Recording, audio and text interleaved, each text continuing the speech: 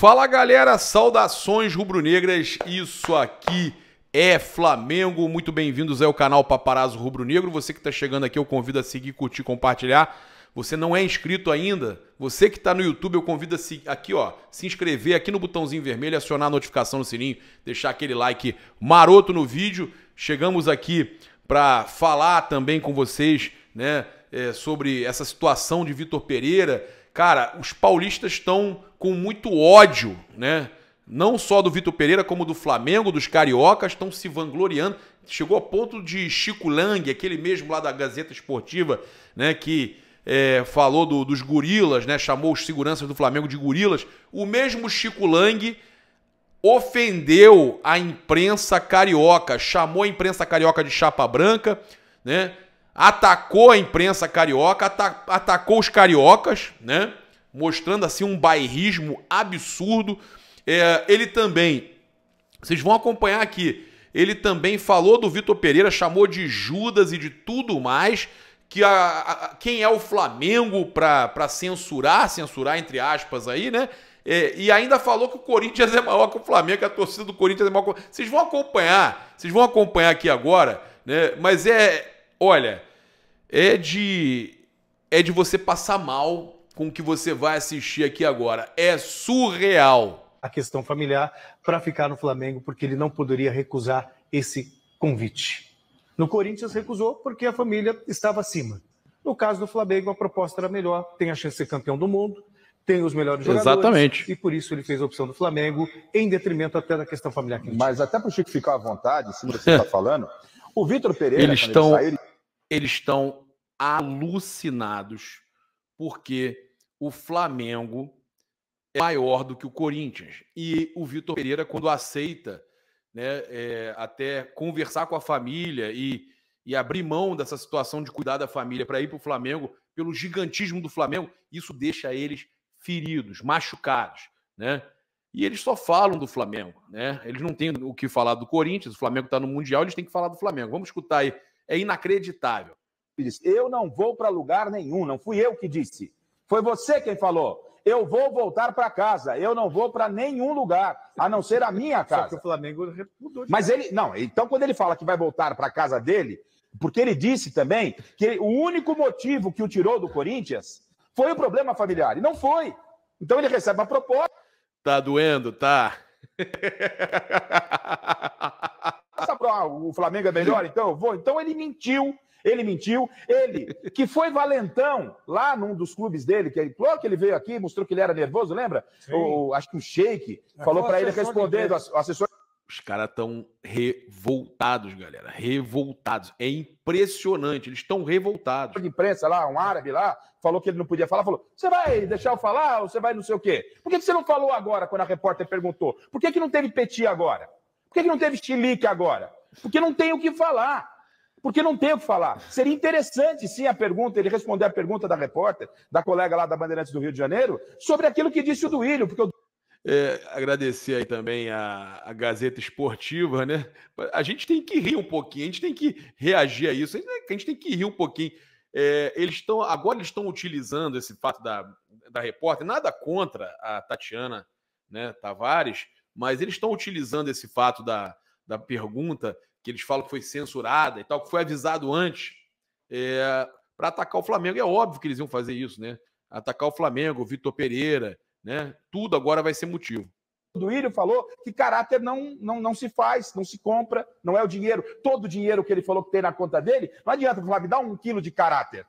Não adianta, você pode ter o dinheiro do mundo que você tiver. Se você não tiver caráter, então era a oportunidade para ele se explicar. Então ele não bateu na mesa quando foi censurado, ele não quis falar, sabe por quê, Chicão? Porque não tem o que falar. Não tem o que falar. E lamento que o Flamengo tenha tratado o Corinthians dessa forma. O, o, o repórter da televisão do Flamengo, clube outro clube, clube anterior. Clube anterior. O, o Corinthians foi. Anterior. O, o, presidente do Willi foi extremamente simpático com o Flamengo, dizendo que o Flamengo não tinha nada a ver com, com o problema. O problema era do Vitor Pereira com a eles agora querem criar um problema, uma crise entre Corinthians e Flamengo. Eles, é, a assessoria do Flamengo apenas falou que já tinham falado muito sobre o Corinthians e que não iam continuar nesse assunto. Forma que ele conduziu. Então não disse absolutamente nada. E outra coisa, para fechar, para deixar o Chico à vontade. Tá? É, Ele mesmo fala na coletiva que todo mundo ficou da comissão técnica pulou fora, porque é, é só ele, o problema era ele, né? A falta de caráter acho que não era dos colegas. Bom, eu quero dizer o seguinte: em primeiro lugar. Agora vai falar o Chico Lang, né? Que é o coroa que falou do. do... Coroa também sou, né? Barba branca também. A dele tá mais branquinha, mas eu também tô coroa. É, que falou da questão do, dos seguranças do Flamengo, os gorilas lá do Flamengo, né? Foi assim que ele falou e que é, muita gente também reclamou de questão de preconceito. Vamos lá, vamos lá, vamos acompanhar. Para mim ficou claro nessa entrevista, entre aspas, aí, né, que ele deu, que para mim isso aí nada é a mesma coisa. Ele falou, falou e não disse porque largou o Corinthians. Falou tudo, a própria repórter falou que ele falou tudo. Para mim ficar claro por que, que ele fez uma isso. desculpa. Esse, esse... É, ele, ele deu uma desculpa, mas para mim ficou claro. Porque ele vai ganhar muito mais do Flamengo. Ele é mercenário. Ele é aquele tipo daquele treinador. Ganhar muito mais título, que né? vai para onde o dinheiro sopra. Né? Não é para onde o vento sopra, ele vai para onde o dinheiro sopra. Mas ele pode fazer isso, mas, Chico. Não, não, tudo bem. Mas não, ele não. ganhava 1 milhão 700 ou 1 milhão e 800 no Corinthians. O Corinthians ia subir o salário dele para 2,200. O Flamengo veio e ofereceu 3,500. E por isso que ele foi para o Flamengo. Aí não tem sogra, aí não tem família, aí não tem nada. Pô, 3 milhões e 500 de alcatra dentro da, dentro da geladeira por mês, cara, é dinheiro pra caramba. É Isso dinheiro técnica, caramba. Né? É, é, com a comissão é. técnica. Ele dá, ele dá lá um milhão para a comissão técnica, fica com dois e meio. É dinheiro que não acaba mais em dois anos, gente. Eles não sabem é nem. Não ele está falando com. É, ele, ele, ele tá. É, é a suposição, né? Suposição, supositório. É, um ano. É, porque depois que. Se ele não der certo no Flamengo, ele vai embora. Ou se ele der certo e vier outro clube, leva ele também. É o tal negócio. Judas vendeu Cristo por 30 moedas, né? Agora, se aparecesse alguém que desse 60, ele não vendia para os romanos, ele vendia para o cara que deu 60. Você pode me ajudar, então, Celso, também? É, então, é, esse, esse, esse Vitor Pereira, ele é Judas meu, ele é, trai, ele é traidor. Ele é traidor, ele não vale nada. Ele, ele não tem caráter. E outra coisa. Chamou o Vitor Pereira de Judas, ele é traidor, ele não tem caráter. Rapaz. Desde quando? Desde quando o Flamengo tem gabarito para censurar a pergunta em entrevista coletiva? Rapaz, eles comandam ali a coletiva, eles que vão fazer, eles que vão de, de, definir o que vai ser feito ou não. O que, que posso fazer? Teve uma época também que é, o, somente a mídia tradicional fazia pergunta. Dessa vez a mídia tradicional não pôde fazer, né? No caso, a, a, a repórter da Band. Mas é, é, foi escolha dela. Eu acho que poderia ser conduzido de outra forma. Ó, faz outra pergunta aí. Ou o próprio Vitor falar que não ia responder aquilo, e eles davam outra pergunta para ela.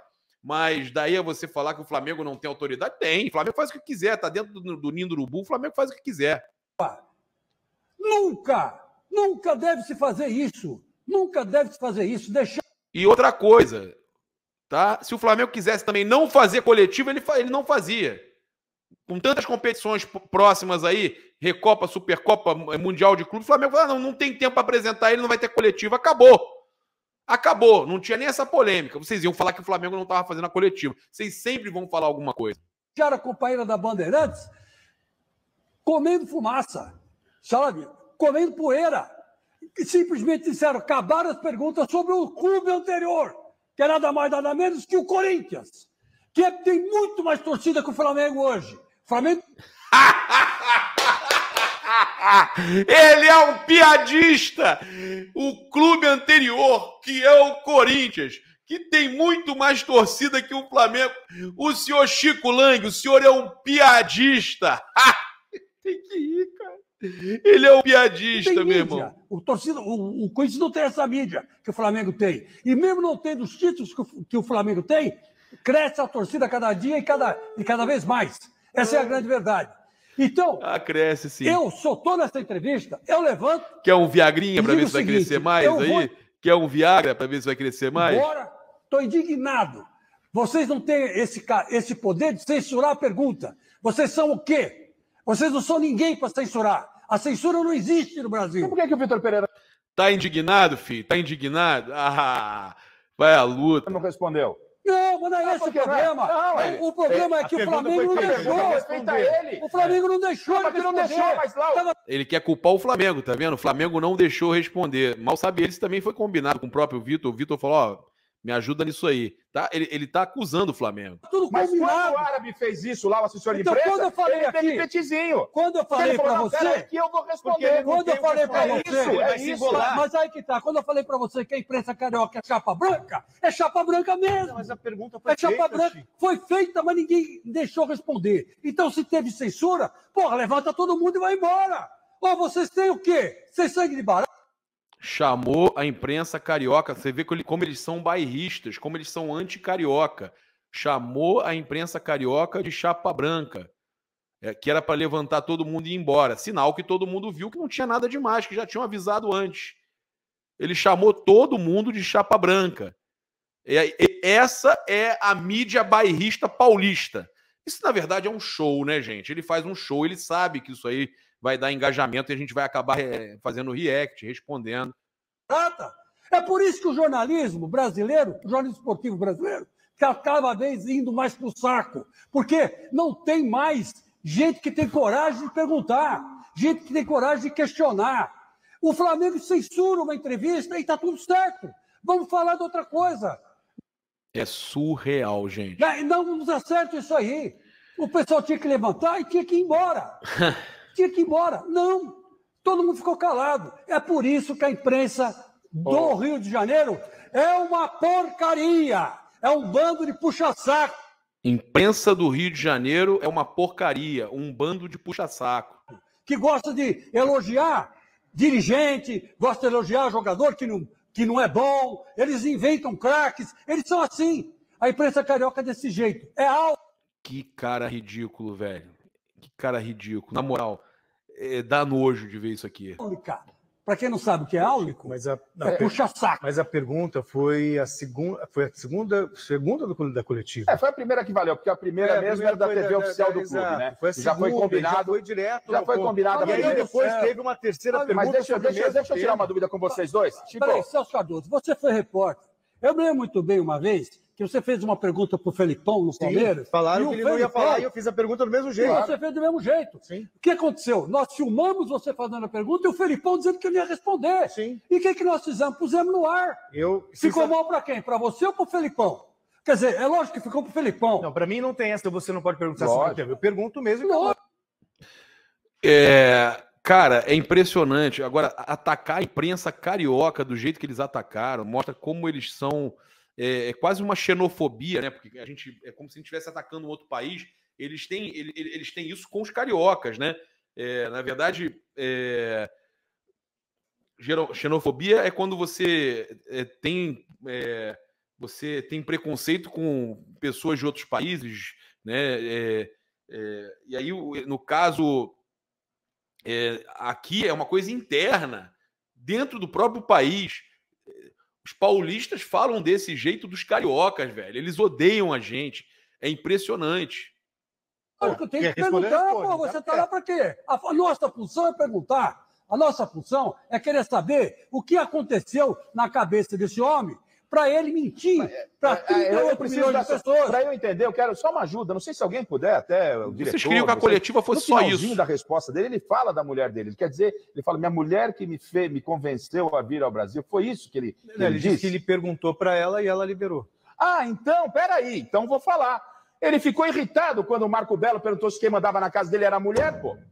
É. Então manda ela, então. Engraçado, né? Foi eu. Ele, ele ficou extremo. O Marco Belo fez uma pergunta para ele, depois se desculpou, falou: Ah, cansei desses caras, velho. Na "Ah, na sua moral. casa quem manda é a mulher? Cansei Ele desses é, que é uma falta de respeito. Aí ele vem e fala assim: ah, eu perguntei pra minha mulher, minha mulher falou, vai pro Flamengo. É isso então que ele falou, né? Então, Marco Belo, parabéns, você estava certo. Tá certo, Marco Belo. Boa, Marco Belo.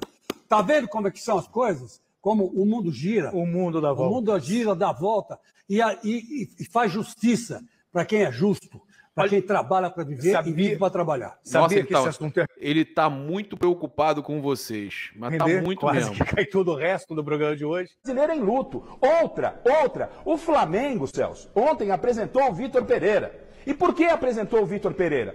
No dia do enterro do Pelé? Justamente pela polêmica com o Corinthians, porque o assunto era o Pelé, vamos dar uma abafada. O Flamengo, a direção do Flamengo, não a instituição, a direção do Flamengo utilizou-se ontem da morte do Pelé para não criar polêmica no Flamengo. Convido você então a utilizar o cupom PAPA nas lojas espaço rubronegro.com.br e loja.flamengo.com.br. 5% de desconto utilizando o cupom PAPA somente nas lojas online oficial, oficiais do Mengão. Convido você também a utilizar o desconto, você que está na Flórida, em Orlando, na Nação Rubro-Negra de Orlando, o desconto do Paparazzo Rubro-Negro na Nação Rubro-Negra que fica na International Drive, no mall do Banco do Brasil América. Chega lá na loja, fala que vem indicado pelo Paparazzo, você tem 5% de desconto, né? É muito importante utilizar.